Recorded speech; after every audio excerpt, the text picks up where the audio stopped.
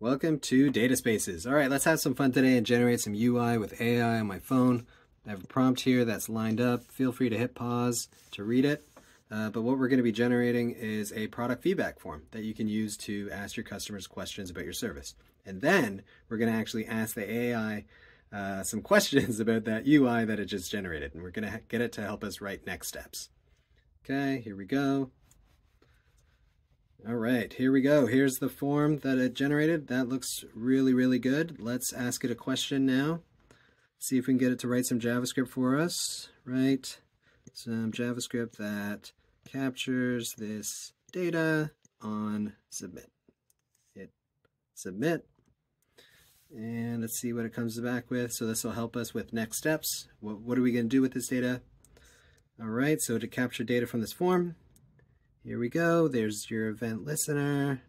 Perfect. There's all the form data. Great. This is great. This looks really good. And that's it.